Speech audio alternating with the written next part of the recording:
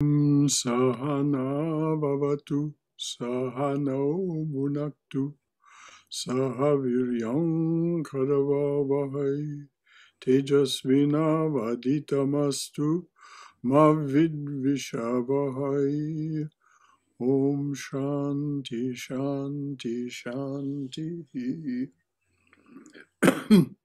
May the Divine Being look over us lovingly as a mother and father. May the Divine Being support and nourish us as a mother and father. May we have the strength and skill to study together the art of spirituality. May no misunderstandings arise amongst us.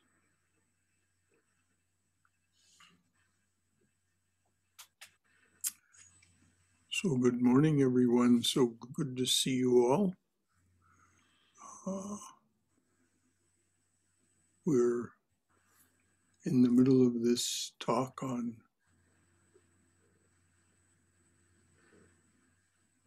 jnana. The main thing is to be devoted to God. Shankara said, Be devoted to Brahman, and you will be able to control your senses, and you will gain mastery over your mind. Master your mind, and the sense of ego will be dissolved. In this manner, the yogi achieves an unbroken realization of the joy of Brahman. I misspoke. We're speaking about we're speaking about yoga. Therefore, let the seeker try to give his heart to Brahman. It's a simple thing. Fix your heart, fix your mind and heart in God as often as you can. now, Swami Prabhavananda used to put this very simply. He said, Give everything in your life a Godward turn. Now, you need to figure that out for yourself, what that might mean. But if you just make that an aim to give everything a Godward turn, you're fixing your mind and heart in God as often as you can. If you're saying, How can I give this, washing my hands, a Godward turn? You can sing Alleluia to thee, Alleluia to thee, Alleluia, dear Master, Alleluia to thee, instead of Happy Birthday. Hmm? You can, uh, these are just simple things, simple things. Be childlike. There's no reason not to be just childlike So just the attempt to give everything a Godward turn, how can I give this a Godward turn, will help fix your mind and heart and in God and uh, as often as you can. Before we go on, uh, are there any comments or questions about this idea of fixing your mind and heart in God as often as you can? and how that might be done for you.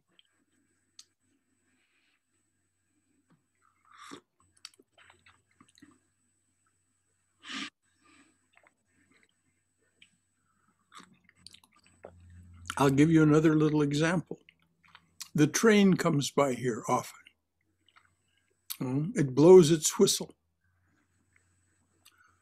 So the thought arose in one of the devotees who lives nearby. Make that Rama as the engineer of the train, and the train is the Pushpaka. And how does Rama blow the whistle this time? Or is that Rama? Or is it Hanuman being more enthusiastic? Or is it Sita being very soft and gentle with the whistle? This is giving an ordinary thing that could be seen as an annoyance. Oh, there comes the train again blowing its whistle. Instead, it becomes Rama with his pushpaka uh, being driven either by Rama or by Hanuman or by Sita or by Kali. Mm, wild Kali, not in the engine, but on top of the engine, waving her sword and blowing that whistle for all she's worth. Hmm? Sometimes the whistle is blown that way. so, any thoughts or comments about this? Fix your mind and heart in God as often as you can Swami Prabhavananda put it, give everything a Godward turn. Swami Sridharananda said, divinize your life. Swami Vivekananda in Jnana Yoga says, deify your life. It's all the same message.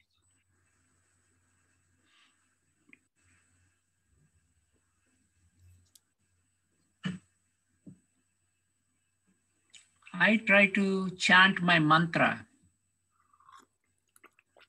Well, when you say you try, uh, Balakrishna, that's an odd word to use.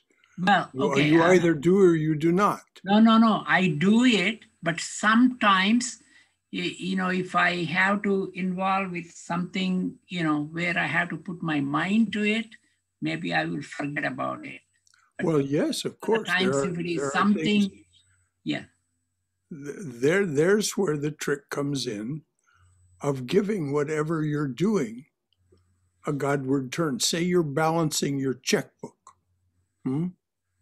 Well, Swami Prabhavananda would say, well, in that case, just remember that the money that you're dealing with is not yours, it's the Lord's. So that's the way to give that a Godward turn. Hmm. So, yes, saying your mantra, your mantra, your mantra truly is your best friend. It, because it contains the vibration that is most congenial toward, uh, to most congenial to transforming your uh, your mind and your heart, transforming your mind and cleansing your heart. So when you chant your mantra and you're thinking of worldly things while chanting your mantra, you feel like you're not really doing much, but even that has some benefit. Correct? That's what Holy Mother says. Holy Mother says even doing it mechanically has benefit because it is the vibration. It is the vibration. If you bring your attention to it, it has an even greater benefit, of course. But Holy Mother is very clear that even doing the uh, mantra mechanically, uh, one of Sri Ramakrishna's dear devotees and supporters was Balaram Bose. Balaram came from a wealthy family, and Sri Ramakrishna uh, would often visit Balaram Bose's house, particularly in the last three years of his life. Uh, and one time, uh, Balaram Bose's father often was there when the master came. And Balaram Bose's father had the habit of, of saying his beads uh, pretty much continuously. Uh, and uh, but of course, because he wasn't paying full attention to it, uh, it was being done somewhat mechanically some of the time. And so Sri Ramakrishna remarked, just uh, joking with him, he said, Oh, Balaram Bose's father, he said, what would otherwise take a year will for him take a year and a half. So it isn't that it wouldn't happen, it's just that it would take longer because he was chanting the mantra mechanically much of the time. Yes, dear. What if you're saying it um, mentally rather than saying it out loud? Oh well, that's that's more powerful. That's the most powerful. uh, if you're saying it mentally. Saying it out loud is good. Saying it silently, uh, that is, just with saying the words with your throat and so on, and maybe even moving your lips a little, is better. Saying it particularly with full attention uh, in the mind, silently, is the strongest. Good question. Um, Brother Shankara? Yes, Swayam. Um, I would like to share um, a recent experience I had in um, deifying um, a certain action. I was messaging with my um, son and uh, daughter in law and basically reassuring them about my progress in my health. Uh-huh. And they were very relieved to hear that. And likewise, they had gotten over the side effects of the vaccine. And so both felt uh, relieved over each other.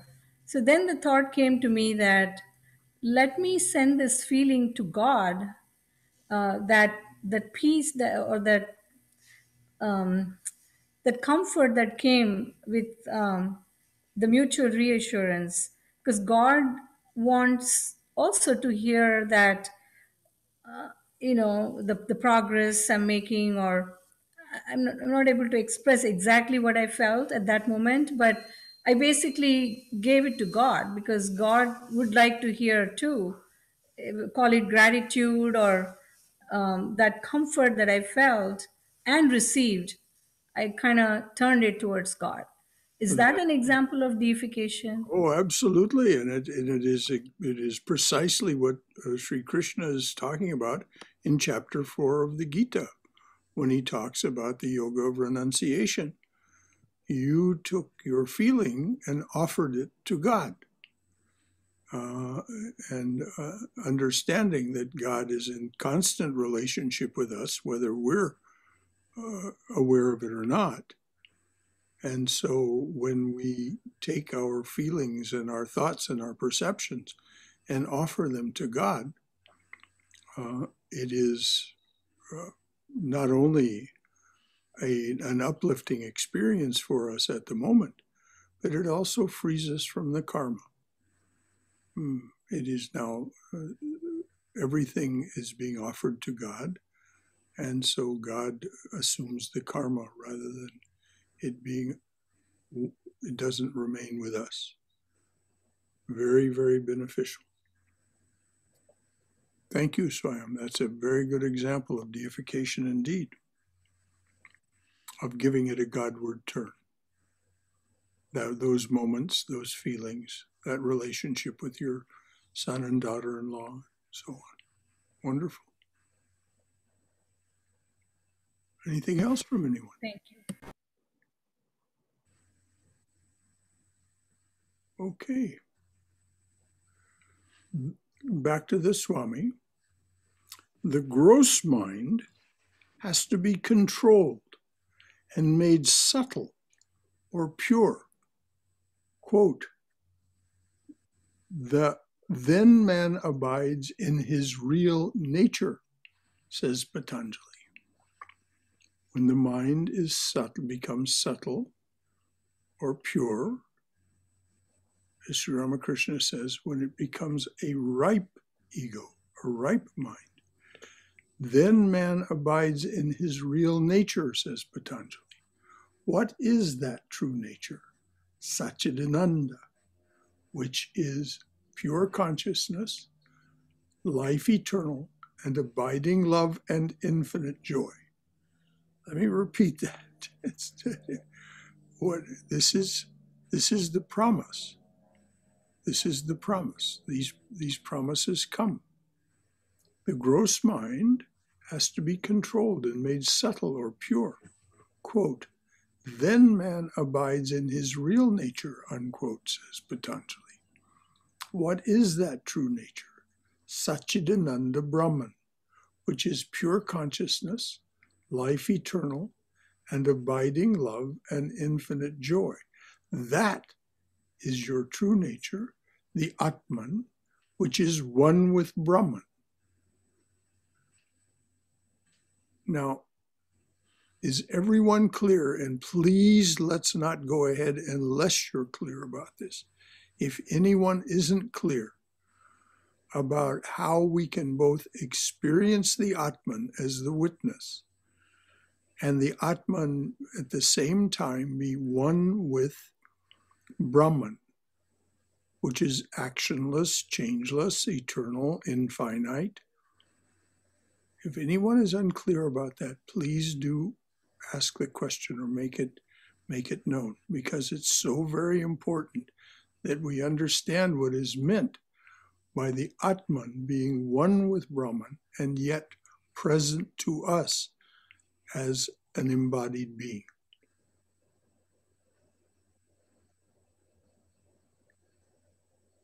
Okay. Pure consciousness, life eternal, and abiding love and infinite joy, that is your true nature, the Atman, which is one with Brahman. When the mind is kept under complete control, then your true nature becomes revealed to you. And then you have, attuned, you have attained the fulfillment of human birth and life. When the mind is kept under complete control. Does this mean like gripping it and holding it and no it does not mean that at all. The mind is brought under control by what the swami said before. You give everything in your life a godward turn. You fix your mind and heart in god constantly over and over and over and over and at some point you find, oh, this is coming under control. I'm aware of what I'm thinking. I'm aware when a thought arises, when a feeling arises. And so I can then uh, deal with it appropriately. So, kept under complete control does not mean that you're holding it in an iron grip that won't work at all. Mm-hmm. It is releasing everything that wants to bind the mind to its lower nature.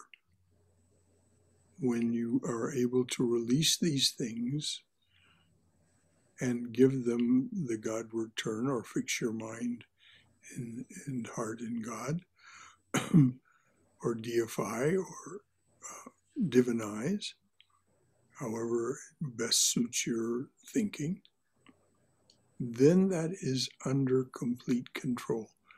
And when that happens, spontaneously, spontaneously, your true nature becomes revealed to you. And then you have attained the fulfillment of human birth and life. Because your true nature is always there, disguised by the distractions. So, as long as we like to play with the distractions, and that's not bad or wrong. It's just less. So, as long as we like to play with the distractions, then we will be contained, limited by the distractions. But when we decide, oh, this, I don't like this limitation anymore, I want to be less limited, unlimited, then you begin to release those things. And one of the best ways, as we were just discussing, was Swayam. One of the best ways to release them is to offer them to the divine presence. Brother Shankara, Yes, dear. this is Neera here. Yes, And I have a question. Um, I understand uh, what you're talking about here about the giving every thought, uh, action, and deed. to God was you done. moved off the mic, dear. I can't hear you. Oh, but I, I was referring to the purification. We are assuming that it is a purified mind at this stage. Well, that's it's the pro it's the process. It isn't it, you know it's when when you reach the fulfillment and your true original nature becomes known to you in an immediate sense, the living presence, as Swami Prabhavananda called it, becomes you become aware of it. That is the Atman, that is Saguna Brahman as the Atman, Brahman with attributes. This is the this is the tricky part about the Atman. The Atman is simultaneously Saguna Brahman, Brahman with attributes, and Nirguna Brahman, Brahman without attributes. And this this this confounded even Swami Vivekananda or Narendra in the beginning. He couldn't he couldn't uh, get his mind around it. So it took even Narendra a while. You know, he was a teenager still when this was the case, late teens and early twenties. So it's it's it's not an it's it's not something that will be intellectually understood. It's something that comes to you by experience. And once you've experienced it, even a little, then you understand in that way that is beyond thought and speech. Is that clear, Neera? Hari Om, Brother Shankara. Yes, Vijay. Speaking of just what you said a moment ago, that it is not intellectual level that we have to understand the concept. But first, I agree with you on what you said.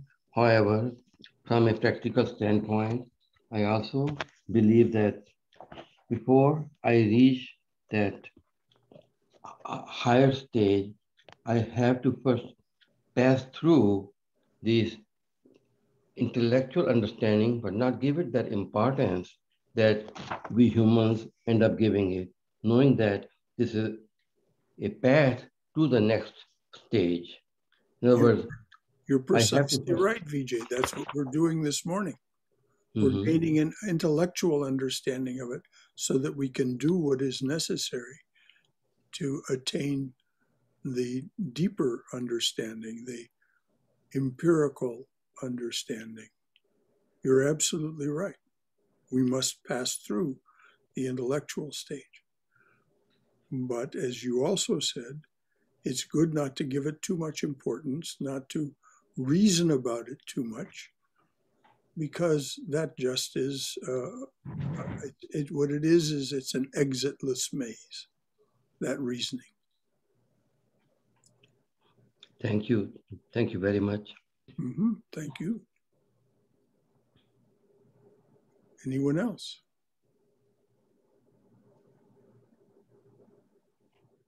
Okay. The Atman, which is within each one of us, is not affected, is never affected by anything. not by your act, not by our actions, our thoughts, or our deeds. In other words, you are always Brahman and nothing else. I'm going to repeat that. Krishna says in the Gita that the Atman witnesses our actions and thereby validates them. That's said in chapter 5. But it isn't affected by Nothing about the Atman changes because of whatever action, positive or negative, good or evil in our language, it witnesses. This Atman, which is within each one of us, is never affected by anyone, not by our by anything, is not never affected by anything, not by our actions, our thoughts, or our deeds. In other words, you are always Brahman and nothing else. As my master said, he saw Brahman in so many masks the mask of a thief, the man the, of, a, of a lustful man, of a saint. He saw Brahman in so many masks the mask of a thief, of a lustful man, of a saint. But it was all Brahman, one reality. A great seer or yogi who is one, a great seer or yogi who is one who has attained that knowledge. A great seer or yogi is one who has attained that knowledge, who loves everybody, who loves the reality, God within, and who sees that same God everywhere.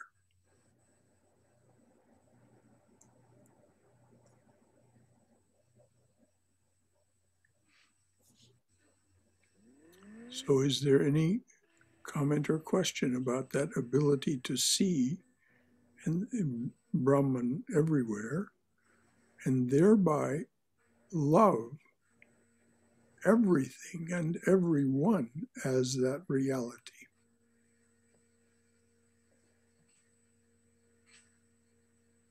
Okay. How do you do that? How do you see God in the wicked and how do you do that? You fix your mind and heart in God, as the Swami said.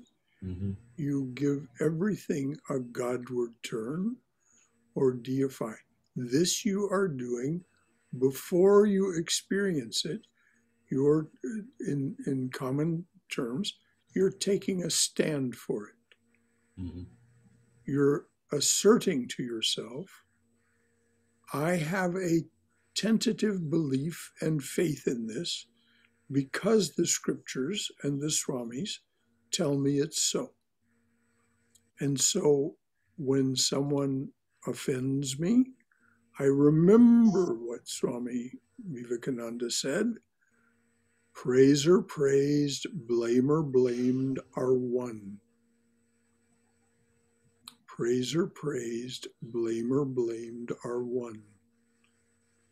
When someone does something that we think is offensive, we see the divine in them. The Christians say it this way love, hate the sin or abominate the sin, and love the sinner abominate the sin and love the sinner, which is the teaching of Christ. So we do it by repeated practice and assertion, satyagraha, of the truth. This is how Mahatma Gandhi was able to uh, discipline himself and offer that discipline to his followers so that they could be beaten with rifle butts and batons and, and set upon in terrible ways, and yet not respond because they were insisting on the divinity of their oppressor, even though the oppressor was acting horribly toward them at the moment. The same thing was true of Martin Luther King here in the United States. I was fortunate enough to know one of the men who trained those young people. His name was Dr. James Lawson.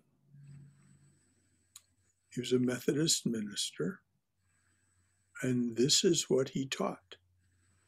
You must insist on the divinity of even the wicked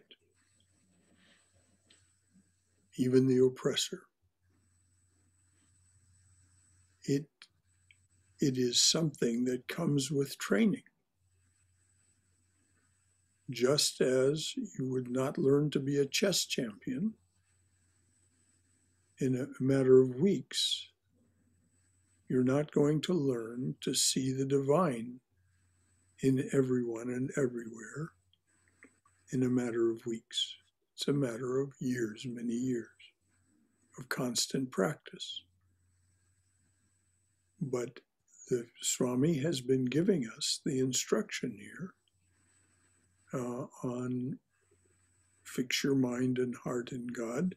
That is to say, try and see everything in terms of God, give it a Godward turn.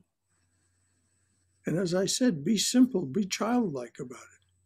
You don't have to be fancy. Hmm. Have fun with it. Have fun with the idea that everything is, is God. I gave the example of instead of singing happy birthday when you're washing your hands, because we need to so often wash our hands, uh, sing Alleluia to thee.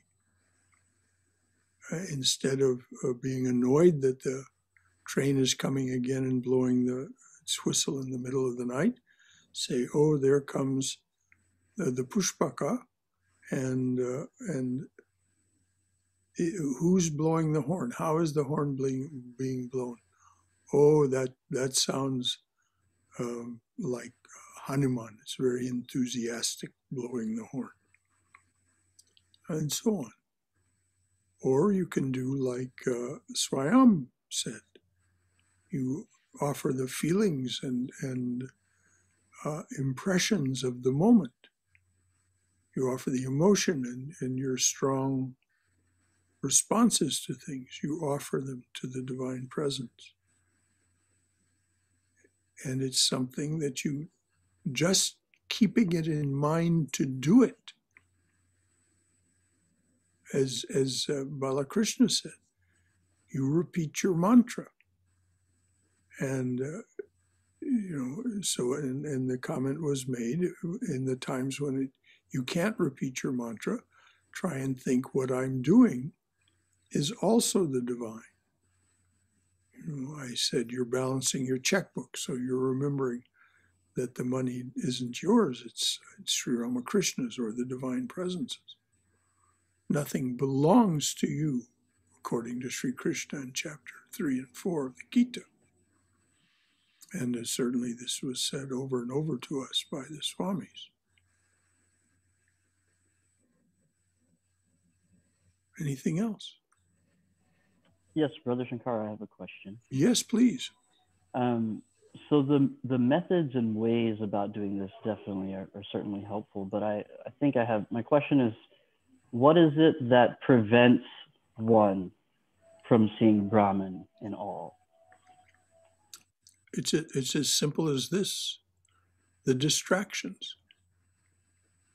It's the it's the habit we have of living in our left hemisphere with all of its conversation and its love of its distractions. It likes to be attracted to things. It likes to be averse to things. It likes to think things through. It likes to be angry. Whatever it is that, uh, uh, as, as Swami Sarvapriyananda said one time after having expounded the, the the depth and breadth of Advaita Vedanta, he said to us the next day, Well, how much has your behavior changed based on this? And he raised his own hand and said, Not much, has it? We have to admit that the reason is because we like it. We like the distractions. Now, who created the distractions? It was not us. Maya is the distractions. And Maya and its servants, the gunas, are the creators of these distractions sattva, rajas, and tamas. so it's a matter of our deciding, I want to have different priorities. I want to be free of this. This is a limitation. I'm tired of it. I'm weary of this limitation. And so I will do what is necessary to be free of it and to move into an ever more unlimited state. And if you want to uh, understand the, the step-by-stepness of this, read chapters one and two of Patanjali's Yoga Sutras, particularly as translated by Swami Prabhavananda, translated and commented on by Swami Prabhavananda uh, in the book How to Know God, which is his his rendering of that those that scripture. Another place to read about it in modern language and in ways that are so easy to understand is Jill Bolte Taylor's book, My Stroke of Insight, in which she, through a massive stroke, is deprived of her left hemisphere and finds to her great surprise that there is a whole other realm and personality pre existing always existing, ever existing, that she identified as being the personality and attributes of the right hemisphere or the heart. They're, they're very parallel, Patanjali's teachings and Jill Bolte Taylor's findings. Jill Bolte Taylor was not a spiritual seeker in the sense that we're talking about. She was a Harvard trained and practicing neuroanatomist. But that book is absolutely astounding. And if you want just a little introduction to it, she did a TED talk on My Stroke of Insight. Jill Bolte Taylor. Uh, the middle name is spelled B O L T E. Um, and you'll find that on. And, and if you want a fuller introduction to her experience in the book. It's there. Uh, Brother Shankara? Yes, Robert. Uh, I, would like to share something uh, about that particular question that the gentleman just came up with. Uh, I, I separate the person from the act. Mm-hmm. I want you to tell me, is this a proper way of doing it. I, I, I, try. The problem then becomes it's difficult separating the person from the act sometimes. But if when I'm successful at separate, separating the person from the act, then I can I can love the person, but not appreciate the act. Uh huh. Well, this is exactly what's meant by that Christian scripture abominate the sin, love the sinner. Yeah, And, and Christ said, Love thine enemy. He who asks you for your coat, run after him and give him your cloak also. Now, there's a wonderful story told by Sri Ramakrishna in the gospel. Uh, this is giving this is giving meaning to the word to the words give everything a godward turn a, a man's guru told him that everything is Rama. Everything is Rama. So one day the man is sitting in his semi outdoor kitchen and he's cut a piece of bread and he's got it there. And a dog runs up and grabs it and runs off with the bread. And the man grabs the jar of of butter that he has beside him and runs after the dog, saying, Oh Rama, oh Rama, wait just a minute, stop, stop, the bread has not been buttered.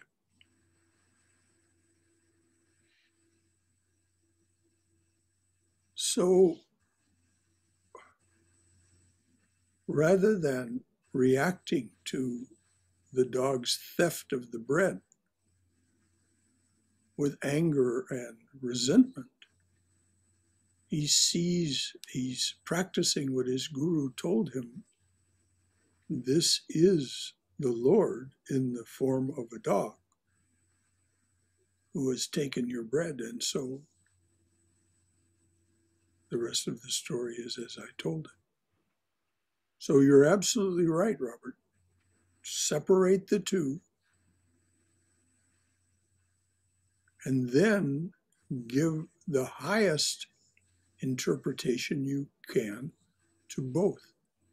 Now, that does not mean that as a society we can condone acts like the man who went and uh, killed those eight people uh, in the in recent days.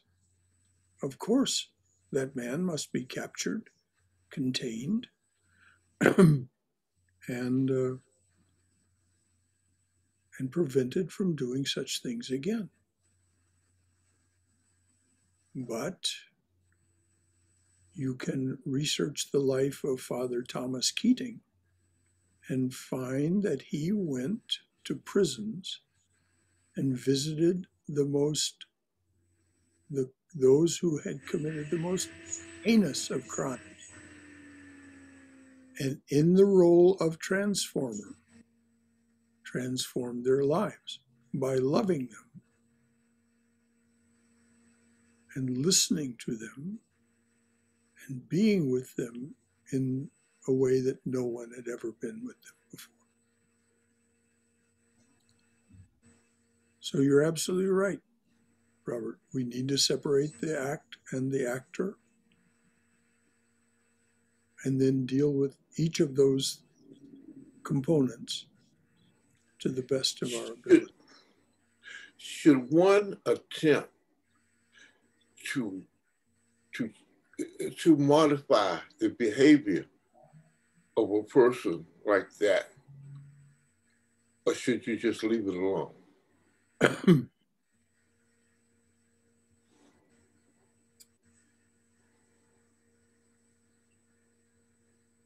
Sri Ramakrishna and his swamis will tell you don't try to modify the behavior of anyone else unless you have God's command. And if you receive God's command, it will be unmistakable. You won't have to guess about it. Mm-hmm. And so Swami Prabhavananda said, people have a right to their pain and suffering. Do not try to remove it. Sustain and comfort. So that's all that Father Thomas Keating was doing when he went to see these people. He did not go with the idea of changing them. Went with the idea of sustaining and comforting them. And that sustenance, that comfort in the form of love and attention was transformative by their testimony not by his, by the testimony of the prisoners that he visited. It's a very hard thing to be a to be a, a, a missionary to prisoners, to go and, and offer them that. Because it's so easy to get your own uh, distractions and, and habits involved. You have to be Prison ministry is very difficult. I know people who, have done it and they speak about this. Can I make a comment, Brother Shankara? Please, Haima. With my past experience with the prisoners and uh, people who came from jail, like the other shooting that it happened, uh, we can't change them unless they want to transform themselves to be get the layers out of it and see their Atman. I know they are all good people, but they did commit bad acts uh, after the prison and then get sent them to the addiction centers. Uh, I have dealt with several people like that, and we won't be able to change them unless they are willing to transform their life to get better and to get back to their original self. Well, that's that's why the Swami said people have a right to their pain and suffering. Exactly. Do not try to remove it. We can we can help them. We can help them on that path. We can we can sustain them and comfort them. They have We to be serve them in that way. Yes.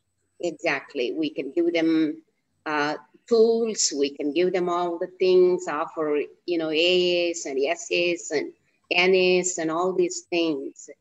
And but that's they have to be willing to. They have to be there.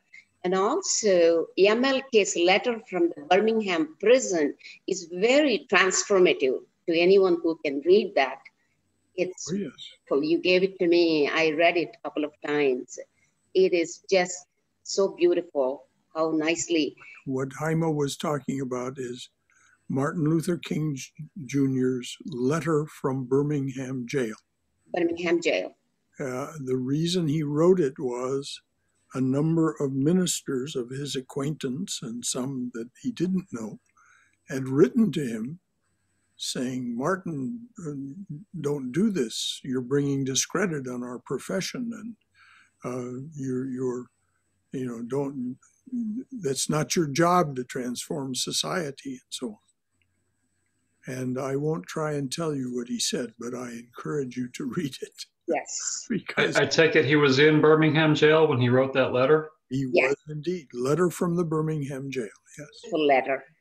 Very transformative effect on anyone who can be open-hearted and read that letter. Hmm. Uh, I think he had all the qualities of forbearance, equanimity, uh, fortitude, everything I could see. I think he had all the qualities of what the Realizing God book explains. Yes. It's a very nice letter. I think it's 14 pages or 12 pages. It's it's it's it's a long letter. It's a long letter. I do have the PDF you sent, Brother Shankar. I would be happy to send it to anyone if I know their emails. Yes, Haima, I'd like to take a look at it. And I would say that you know, Martin Luther King has a statue in Washington, and I don't think any of his critics have a statue. So that says something. Send me your email right now and then I'll write it down. right, yeah, I'll put it in the chat. Okay, sure. Thanks. Yes, Hemaji, you can Yes, send the you can send the PDF to me also. Please, sure. Get- Just send me the emails or something like that to me, and then I'll be happy to forward it to you what Brother Shankar gave it to me. Sure. I will do that. I'll text my email to you. Okay, sure. Okay. Anything else from anyone? Uh, yes, to add to what Robert said and Haima a bit, um, as a, in my former career as a naval officer, I actually used to visit prisoners in the prison, Mhm. and some of them were good guys who made a mistake with crack cocaine and got addicted and did stupid things, and that's how they got themselves landed in jail. But some of the guys were truly evil. And I asked one of them when he told me what he had done, I said, Don't you feel guilty? Don't you feel bad about what you've done? And he said, No, it, it didn't bother him one bit. So that really was a lesson to me that some people don't have any sense of conscience.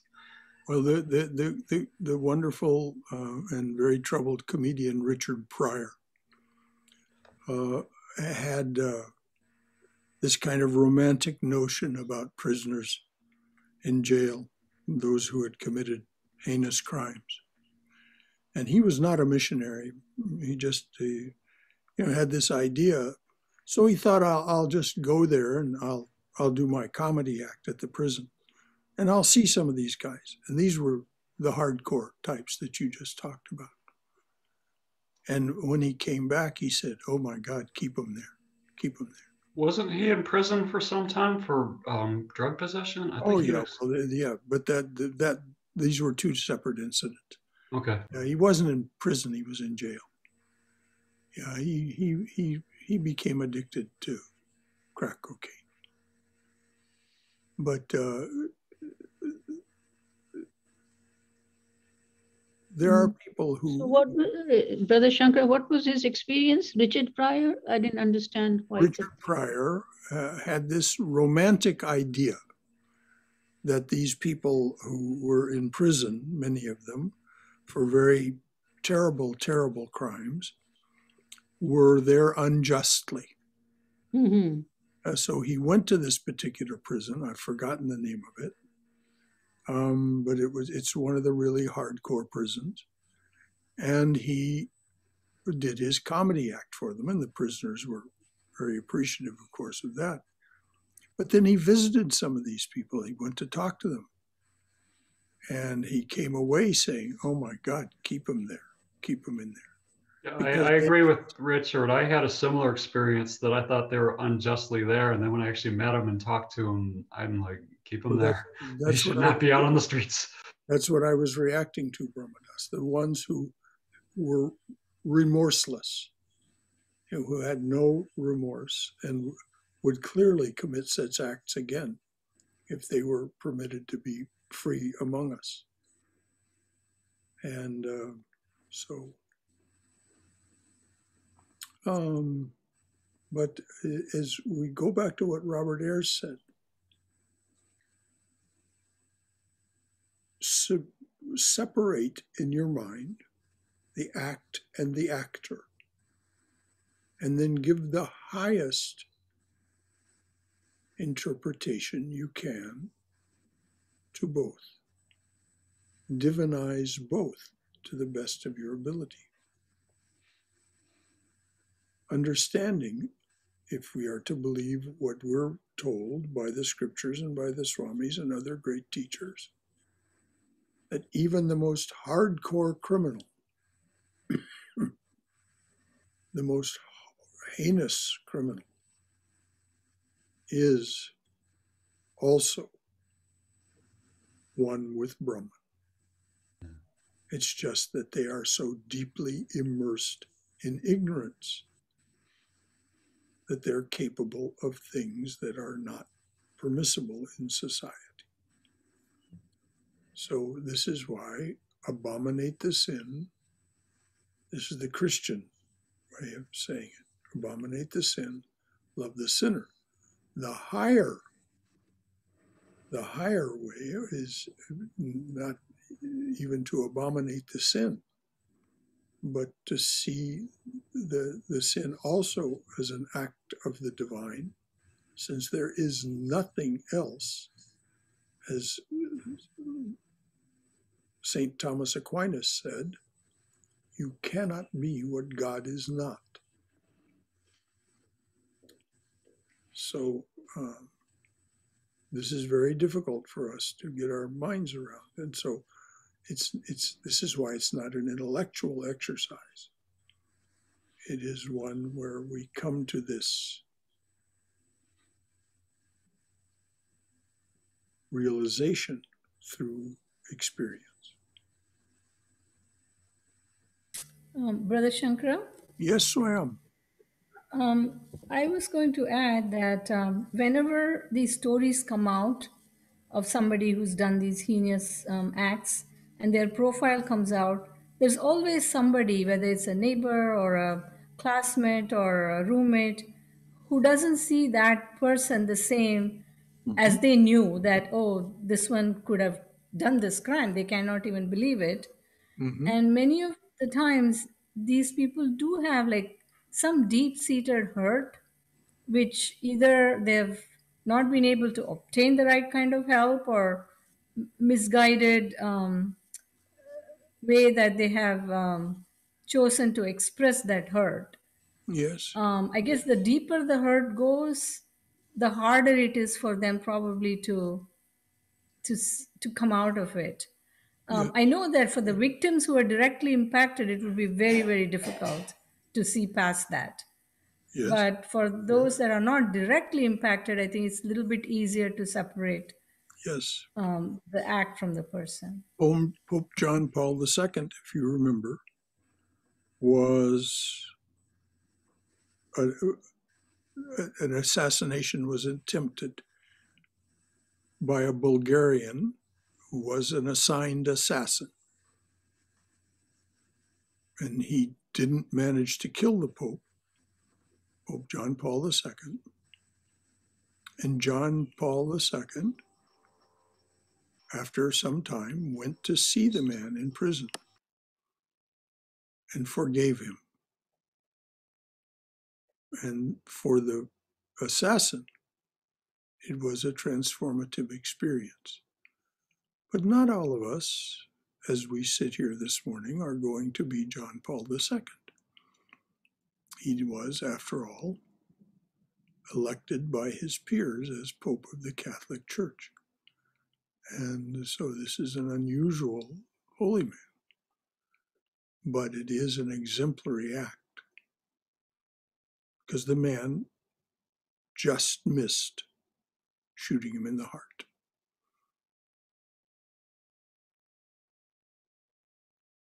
Anything else? Yes, Brother Shankara. Yes, Vijay. Today we spoke of Maya and its gunas being the creators of the distraction. And uh, I have a question and also more than a question, a need for clarification on the concept, uh, on the concept of gunas. Now, we have talked more than once that gunas don't belong to a person, to an individual. Gunas belong to Maya. Gunas are there, just like a fragrance of five different kinds, and I can choose which one I want to choose. So there are three gunas with all the attributes in each of them. Now, with that background, is it correct to say that when these different fragrances are there, the good and not so good is there. I don't want to call bad, but good and not so good, both are there. And it's for me then to say, this is for me, and this not so good is not for me. And that's how I apply my discrimination in my practical life. Yes, first question, is, is that right? This is what Patanjali calls uh, discriminating between the good and the pleasant. The second clarification, please. Just like we say the world is real, and yet it's not real, meaning that from Vedanta point of view, the world is not real because it's not permanent. But it is real so long as there's a table and I'm touching it, there's a food and I'm eating it with my body mind intellect complex. The same way, am I correct that we can say that gunas uh, that gunas are there for me in the beginning or for anyone in the beginning to accept the concept that they don't belong to me i have to start at the intellectual level and then go beyond it. That yes they don't belong to me. They are there just like the fragrances. The breeze comes and presents the different fragrances, fragrances to me. What I'm saying is that there again, to absorb the concept, we have to begin first by keeping in mind the world is real and yet it's not real. Well, yes, the, the world is real in the sense that Maya is eternal and therefore its products, though they're ever changing, are also eternal. So we look at what is the substratum. That is the reality behind the appearance. And that why we say that the world is provisionally real or uh, as a superimposition on reality. But as far as the gunas go, the gunas are not mysterious. The gunas are precisely like the elements of the periodic table in chemistry. We don't have any difficulty at all with the idea that oxygen and hydrogen, hydrogen and carbon form a molecule, and we call it a hydrocarbon. And various forms of hydrocarbons are combustible. This perfectly ordinary thinking for us. Oxygen, hydrogen, carbon, three elements. They combine, they compound, and they make a hydrocarbon, various kinds of hydrocarbons, depending on how much of each. the same is exactly true of the gunas. And if you study Sankhya, which means enumeration or counting, you'll see that they come up with something that is quite reminiscent. This is Kapila, by they, I mean Kapila, came up with this diagram of how various compounded substances or realities appear out of just these three gunas. Just so much of this and so much of that, and so much of the other, and you get this. It's, just exactly like chemistry. So the gunas do not belong to anyone. They are the tools of Mahamaya, of Maya, of Shakti, to produce this ever changing reality that we call life. I mean, for us to deny that this is real is preposterous. Here we sit, all of you wonderful people appearing on the screen, each in your own place, having your own experiences. This is a reality, but it's a temporary, ever changing reality. And so it is a different reality than the reality of the eternal, changeless, and infinite which is our true original nature, on which this is something that has this we we experience this and the, here's the great secret because we wish to and when we stop wishing to when we've had enough of it then we begin the process of un, undoing our attachment to that which we have liked for so long. And that's what we've been talking about so far this morning. What it is, what that is, and how to go about it. Thank you very much. Anyone else? Well, let's talk something on uh, when we see or know about a person that's done these things, these negative things that we're talking about, we also participate in in in in in, in creating that. Maybe not. That's the wrong word. We we, we, we also participate in maintaining a negative attitude because we see that person as a villain.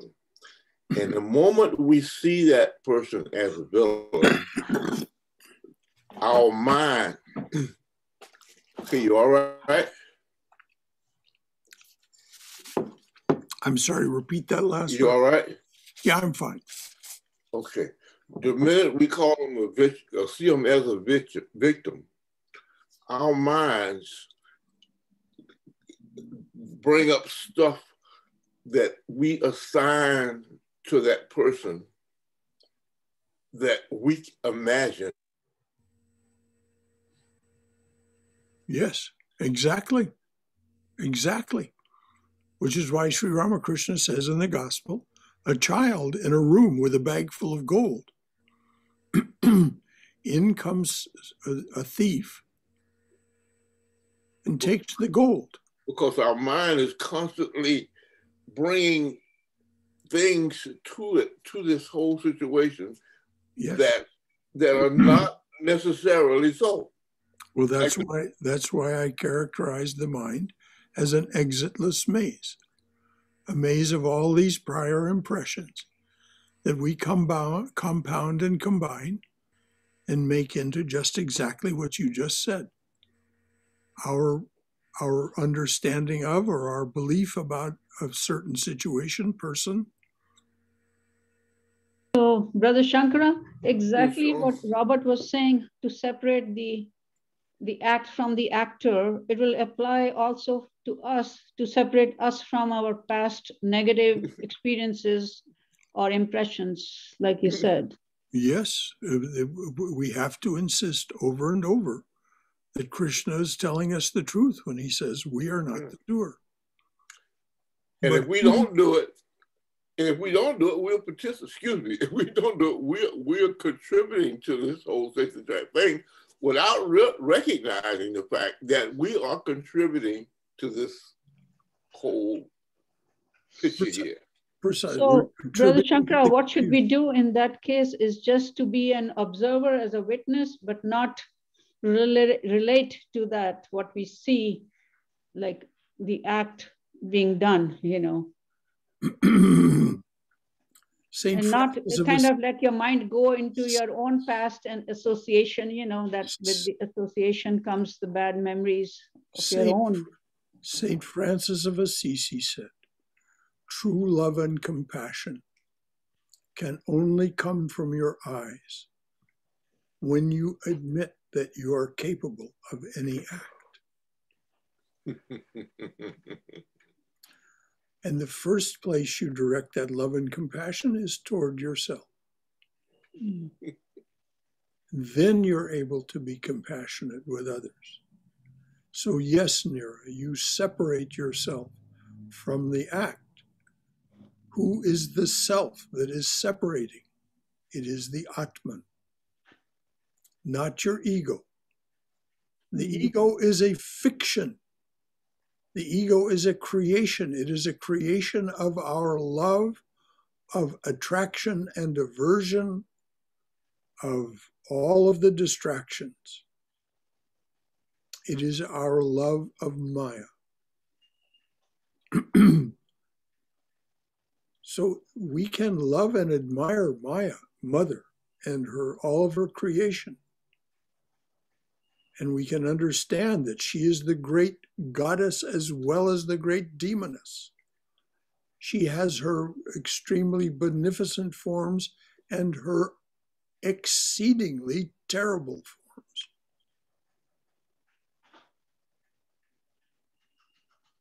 Yeah, because I was I was when I was talking about that, I wanted to finish with with th- th- that person that we are calling this villain. This that person loves someone. Mhm. Most of the time, it's like their mother or something. yes. And many times, that act that we see is such a negative act. That person sometimes could be performing that act to to and they believe that they are by doing this act they are doing something to contribute to this person that they love Yes. That's and that true. and that negative act could its source could be a giving source just misguided from the ignorance Well, that's so if the person had dealt with their mind first before trying to help anybody before trying to do anything outside of the self if you can bring your mind under your control where you can train it to, to, to not react in certain ways, but react in other certain ways. And that's what these swamis are trying to teach us to get us to have our minds to react in a way that's going to contribute to ourselves and others at the same time. Who are the people, if we look around now and in history, who are the people that are remembered for being transformative? Someone brought up there's a statue, I think Brahmadas brought up there's a statue of Martin Luther King in Washington, but not of his critics. Who are the people that we remember? they are the people who've been transformative in the world in a in a in a really beneficent beneficent sense. What was what is their characteristics? They are in full control of their awareness and their expression of that awareness in the world. It's just exactly what the Swami was saying to us earlier. So, our, if we want to be of benefit to the world, first learn to be of benefit to ourselves. Yes. First learn to love and be caring for ourselves. And as Neera was just pointing out, that means we learn to separate our actions from ourself because the lovable self is the Atman. Every one of us has a personality. Aspects of that personality are lovable, they're the ones that reflect the Atman, and other aspects of that personality are emphatically not so lovable. And so it can't be our personality. So we learn to care for our personality. We learn to take care of this person who appears to be acting in the world first. And, and then we are able to control our minds because we've given everything a Godward turn. We've divinized it, deified it, fixed our minds in hearts in God. And then we are beneficial to the world. Better equipped, at least. Better equipped, at least. Thank you. Anything else from anyone? Brother Shankar, we could have one day retreat for every page of this book. We yes. could. yes. so nice to discuss this. There are so yes, many. Yes, indeed, we could, dear. Yes. To, to, that effect, Haima, the book Brother Shankar had mentioned, the Yoga Aphorisms, aphorisms of Patanjali. Um, I've been reading it every day, but I every passage, every verse is so full of depth and breadth that I have to stop and think about it and read it again and read it slowly. That's why I'm getting through this book so slowly. Yes, exactly. And that's the way to read it. Thank you both. Any anything else from anyone? I, I, I just want to make one last comment. I know we're running out of time. Uh, it's like we have to learn to respond instead of reacting to a situation. And we have to emotionally detach, like Karma Yoga says, renunciation, detachment, but at the same time, loving the person that we are in relationship with. We have to emotionally detach. If we make that emotional detachment, it's easier to love for what they are, like Robert, Robert Frost says, love for what they are, not for what they ought to be, you know. Yes, very well said. That can, that can, it's a slow process, daily programming in our brains. Every day we have to tell ourselves, like Vivekananda says, thousand times we may fall down, but we may get up and thousand and one times that happens. Yeah, it's, it's yes. not an easy thing. It's a tough yes. All of we'll, us. We'll never make any progress unless we're willing to make mistakes. Unless Yes, unless we try it every single day. Thank you, Brother Shankar. Thank you.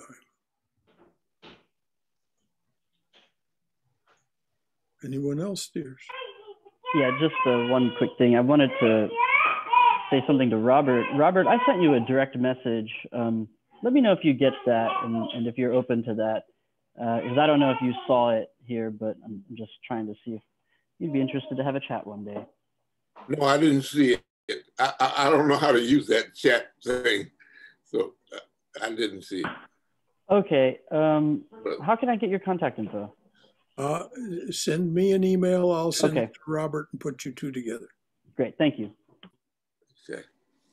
And to add to what Haima said about failing a thousand and one times, it inspires me when I read that quote and look at the Swami. There's actually like a picture of him saying that.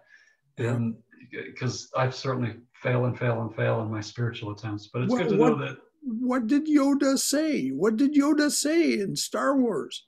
The difference between the force is with you. and master. The difference in the novice between the novice and the master is that the master has failed more times than the novice has even tried. Wow. We, It's amazing how Star Wars incorporates a lot of Vedantic philosophy. well, that's because that's because uh, uh, what's his name? George Lucas's advisor was Joseph Campbell. Oh. who was who was at one time president of the Ramakrishna Vivekananda Society of New York, the East Oh, that explains it. Because you can't watch the movie and help but notice there's a lot of Vedanta philosophy in these movies. Okay, that explains it. That's that, that's Joseph Campbell was the one who encouraged George Lucas to start that adventure. And even in the evil Darth Vader, it turns out there's some good in him at the end.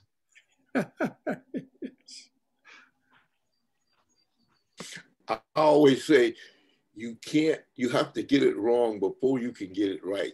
well, as a And, musician, as and a- the more times you get it wrong, the better it is when you get it right. well, as a as a as a as a consummately skilled musician, Robert, you know exactly whereof you speak. You know, and you you you play it and play it as that great Australian singer whose name I can't remember right now said, if you if you want to perform a song, sing it 100 times to yourself beforehand. Hmm. So so the we we we are but the the thing for us to keep in mind aren't we all so very glad we're alive? Aren't we all so very glad we're on this adventure yes we want to be done with it yes we want to learn what we need to know and practice what we need to practice to free ourselves from limitation. But it isn't that we want to just stop the world, I want to get off. No, I want to become more and more. I want to become less and less limited, more and more happy. And, uh, and those are the blessed and blissful aims of spiritual life. And as we learn to know that living presence that's within us and identify with it more and more, that you the word used in this uh, talk word uh, talk, reading today is Atman. But you know, we, you can call it by any name you wish. You know, whatever of the divine names, uh, or make up your own.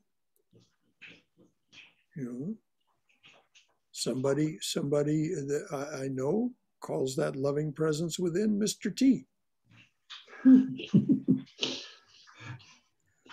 so uh, the, the, we we are on a, a great and wonderful adventure together. That's why that prayer that starts this is so powerful. Let's go forward together. What a joy.